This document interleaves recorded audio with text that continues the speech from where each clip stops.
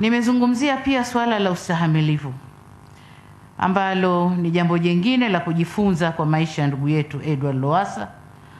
Katika mapito yake ya kisiasa aliwahi kuhama kutoka CCM kwenda Chadema.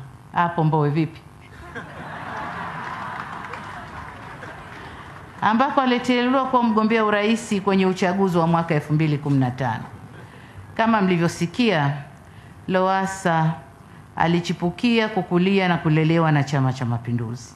Hata hivyo, alipofanya maamuzi ya kuhamia chama kingine, aliendelea kunadi sera zake na kuifafanua dhana yake ya safari yake ya matumaini bila kumtukana, kumkejeli wala kumzushia mtu yoyote.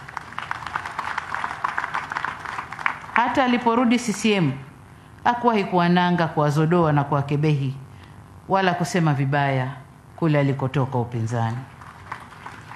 Hapa tunapata somo kubwa sana la siasa za kujenga hoja, kuheshimiana, kustamiliana na siasa za kuleta maendeleo. Huo ni ukomavu mkubwa wa kisiasa na ni njia nzuri ya kuchukua kama tunataka kumuenzi Lowassa na vitendo vyake. Na ndio maana alichosema mdogo wangu Freeman, yale matokeo ya zile kura ni kwa sababu hii. Alijenga umaarufu mkubwa sana yeye mwenyewe binafsi, na ndio maana yalikuja.